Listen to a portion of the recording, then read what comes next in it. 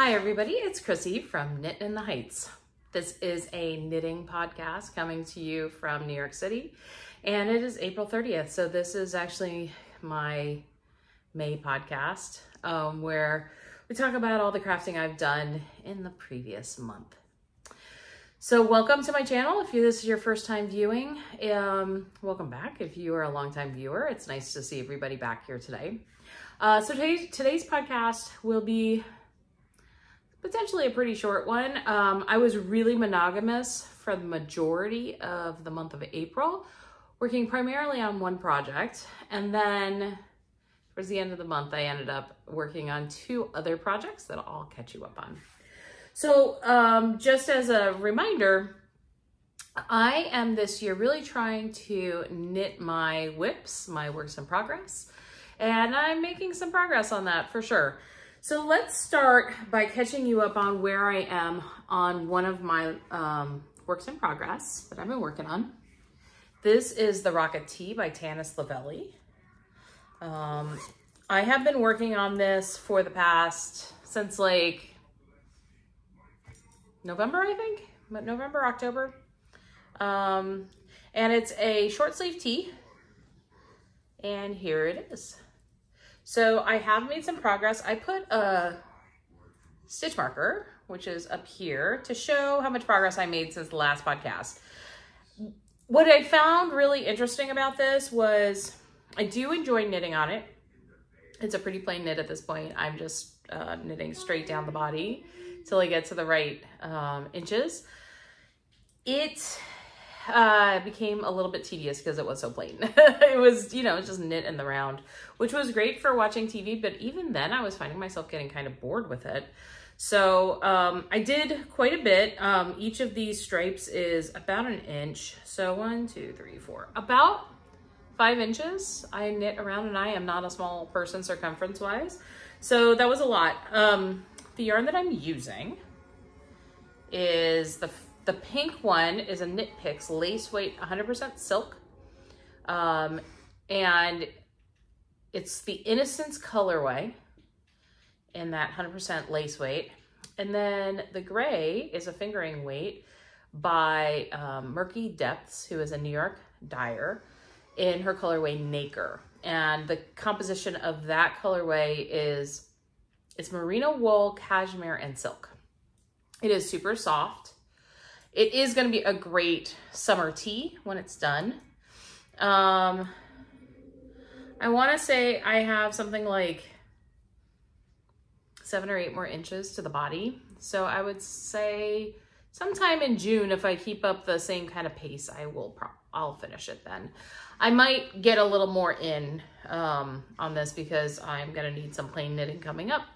I am going on a trip and so some plain knitting is needed for the train ride because it's quite a long train ride. I'll talk about that at the end of the at the end of our knitting time together. So yeah, so this is making progress. It's coming along. But I literally found myself putting it down after working on it for a half an hour and just ignoring it and I but I still wanted to knit. So I decided to actually cast something on.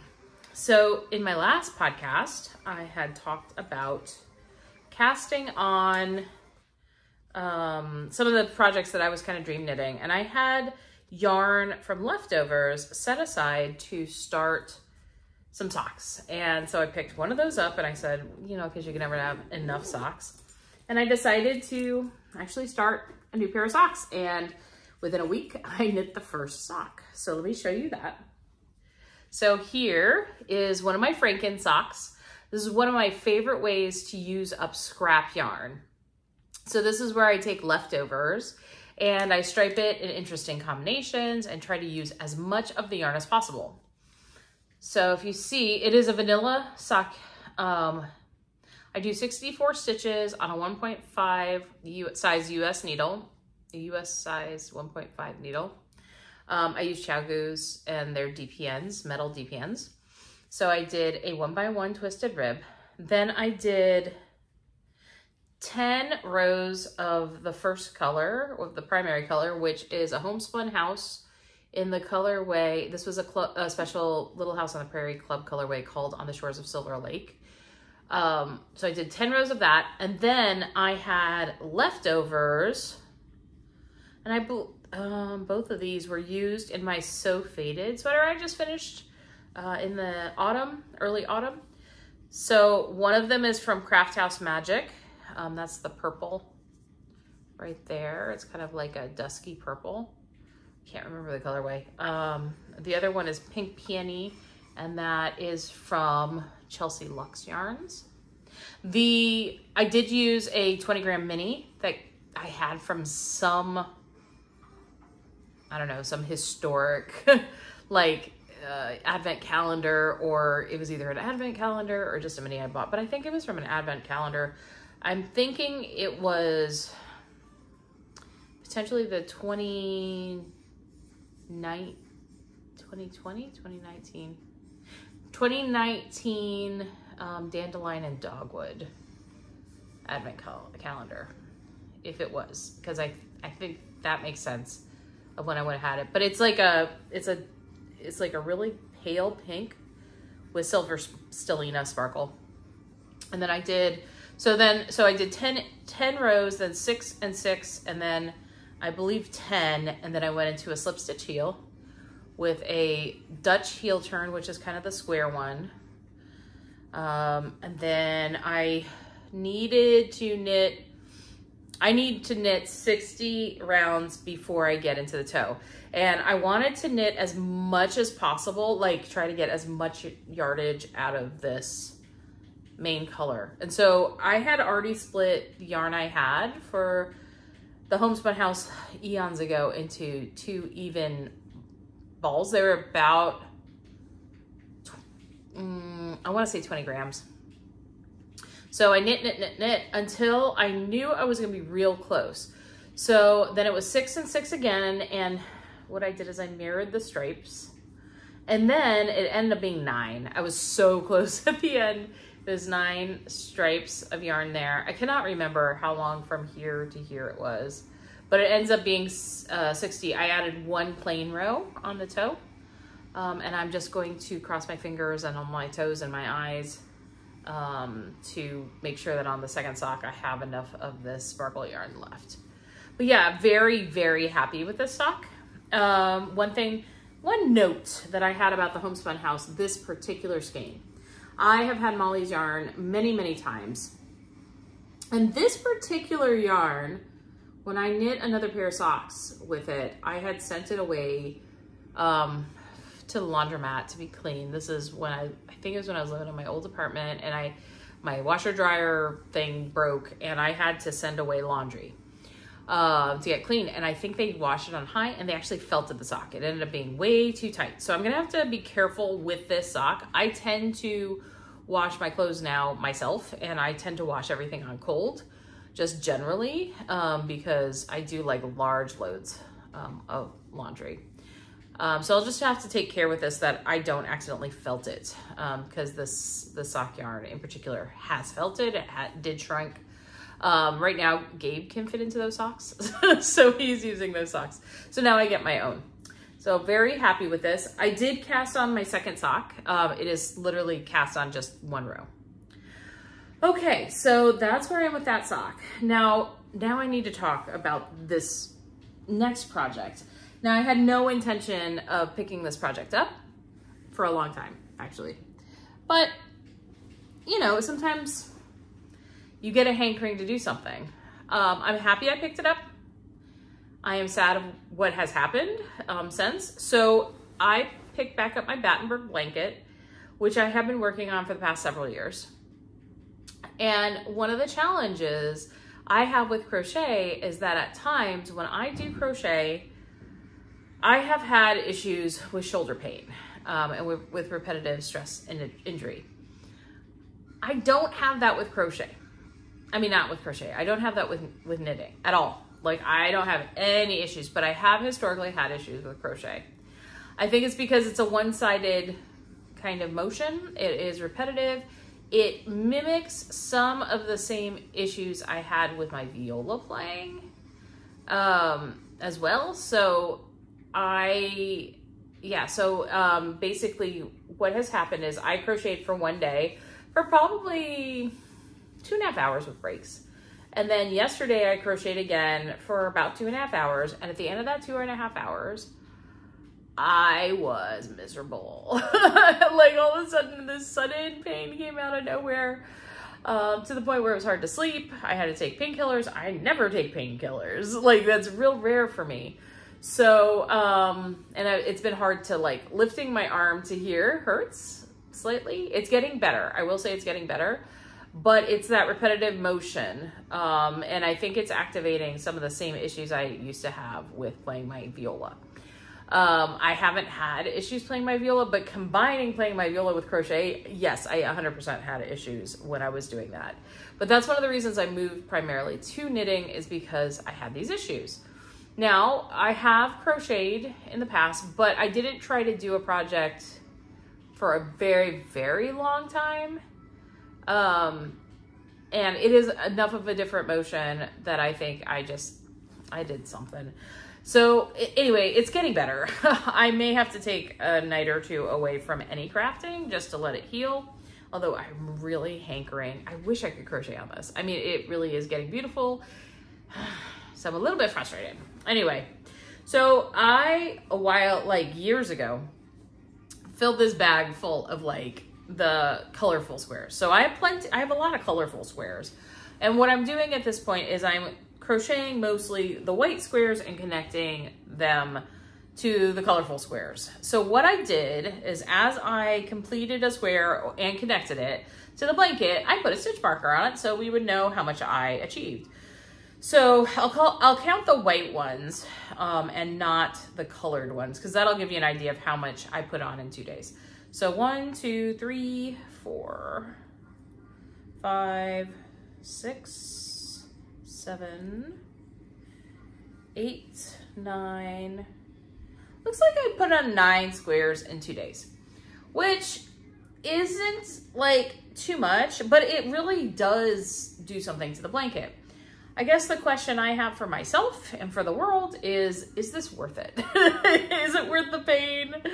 Um, no, it's definitely not worth the pain. Uh, is it something that, should I just you know, plan to once my shoulder heals, like put on like every week, maybe put on a couple of squares and then put it away. That might be possible because I don't think the injury would reoccur if I did just like two squares um, a week. I think it's because I did nine squares in two days, which is a lot. Um, it takes me to do one of these squares and connect it you know, it's like about, I don't know, 20 minutes or something. Part of it was reteaching myself. Like the first day, I had to reteach myself the pattern and how you connect the squares and all that jazz. But it really is so pretty. it really is so pretty. And it's such a beautiful way to use up minis and a beautiful way to use up scraps. In fact, I was talking to my friend Josh, who many of you have seen on the podcast before. He's doing great. He's working away at his WIPs right now and he's about to start some new things because he's about to cast some things off soon. Um, we were talking, he was like, oh my gosh, you, you've got to talk about the different ways you use scraps. And so some of my favorite ways are like the Franken socks. This is another beautiful way to use up scraps. I, th I think that my biggest challenge with this really is the fact that it's causing me pain. If crochet didn't cause me pain, I would do it a lot more often it for me it is a se second nature uh, because I started as a crocheter and then went to knitting. But yeah, I can't force myself to do something if I'm in pain. I mean, it's like the kind of pain that actually wakes you up. Like I couldn't get comfortable at all last night. So that's a bummer, but on the, you know, plus side, it really is pretty. So yeah, I, I think I'm gonna put this back away for the week, let myself heal. And then down the line, I will put on, I would just have to put, I might have to write something down and put it in the bag saying, you are only allowed to do this much per day. Uh, that might be the only way to do this, to be able to continue with this and get it finished. Because it is really pretty. I mean, come on, you guys. This is so pretty. All right, so that's what I've been working on. So this, oh, by the way, if you don't know the Battenberg blanket design, it is by um, Sandra Paul at Cherry Heart. Um, super simple, super, super simple. but super effective. And one of the things I love the most about it is actually that the holes kind of make it look like an argyle pattern. I just love how that looks. It's not like the other granny squares that are a little bit holier. So yeah, it's pretty cool. So that's it for my crafty content today. So uh, just a real brief what's coming up in May. I am going to Baltimore. I have been asked by a music education organization in Baltimore if I would come and be part of an evaluation team to give that program some feedback. And that'll be, you know, absolutely so much fun. Um, one of my colleagues is the artistic director of that program who and he, he's like one of my favorite people in the, on the planet like i really dig his just the way he thinks about music education and what's important and you know the change it can make in people's lives and so we're kind of kindred spirits in that way and i always love just hanging with him because he's super fun and you know i learn a lot from him and from working with him and i know that um, like he's learned a, a, lot about like what I do. He's a brass player, I'm a string player, so we end up learning from each other in really cool ways. And it's just nice part being part of a community. So anyway, I'm gonna go down there. Um, that's on May, the weekend of May the 10th and 11th. And so it'll be nice to get out of the city. Um, Gabriel's father is supposed to come and stay with him. Um, so it'll be great for Gabe to spend some good quality time with his dad. Um, then I, oh, I'm just like chugging along at work, writing lots of grants. Um, but I'm going to insert some footage of things that have happened in April, um, some places we've gone, some performances. So I hope you enjoy. I'd love to hear how all of you are doing with your crocheting and crafting and all of that. So if you want to pop down below, that'd be great. Thank you so much for joining me. See you next time. Bye.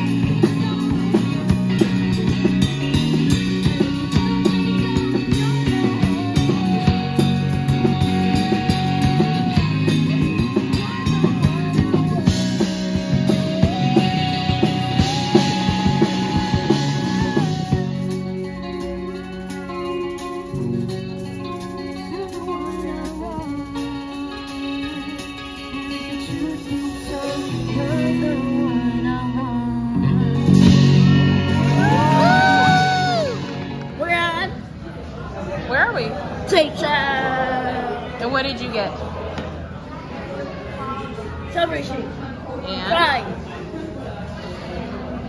what do you think of Shake Shack? It's so juicy.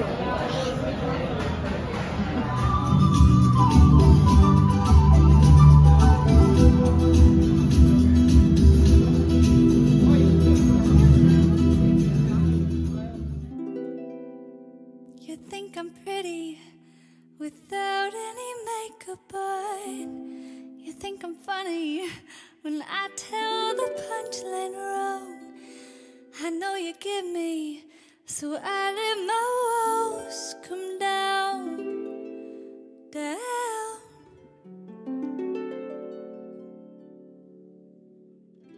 Before you met me, I was alright, but things were kinda heavy.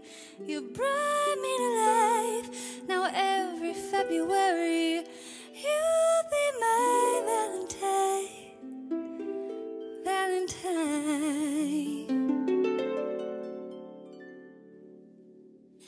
Let's go all